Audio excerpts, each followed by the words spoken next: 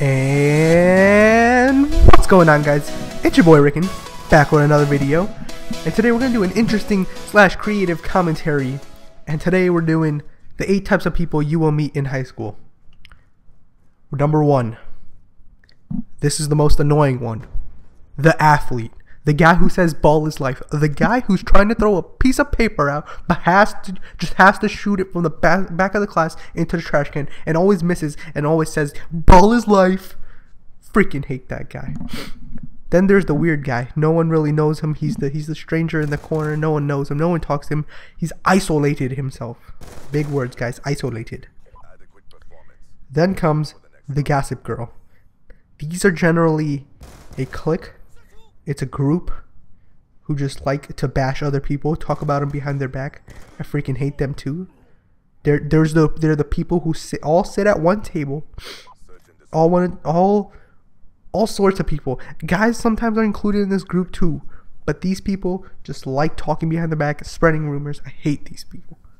Then's the gamer, specifically the Nintendo DS gamer, the ones who bring their Super Mario N64, Super Nintendo, whatever game they have on Nintendo DS and play during school. Like, I've always thought that Nintendo DS is for little kids. Okay, Nintendo DS is not a console game in my opinion. It's it's it's childish. But, but grown men play this. Then there there is the smart one, the smart one that no one appreciates smart one who gives the copycat the homework. And and and just the you know what? The smart guy he, there's not much to say about him. He's just smart all right? He's freaking smart. Then's the show off the one who has that like 18 trillion dollar car with the $14,000 Louis Vuitton shoes and and and, and the 50 billion dollar house the guy who shows off everything he has and doesn't care about other people and is just trying to show off his wealth. That's really it. Then there's the playboy, the guy who hits on every girl, tries to be classy, doesn't work, but still does it, ends up working out for him sooner or later. It's weird. This guy is straight a, a, a little bit of a pedophile. Then is the singer slash performer slash musician slash dancer. These people do most of the performing arts in the school. They they do the, the chorus with the, the with the singing group and whatnot. Um, they play instruments. These are the creative people of the school. These are the the extracurricular activities kind of people who just do more things outside of classrooms.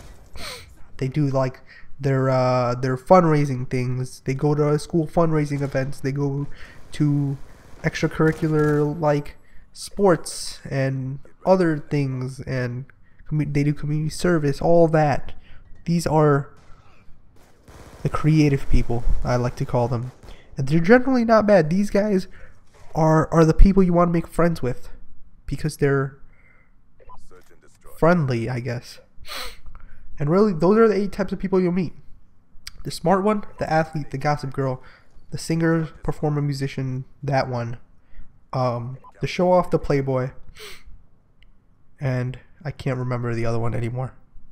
And that's going to do it for this video, guys. Like, comment, subscribe, do all that good stuff. Thanks for watching the video. Enjoy the rest of your day. And this is your boy Ricken, signing out.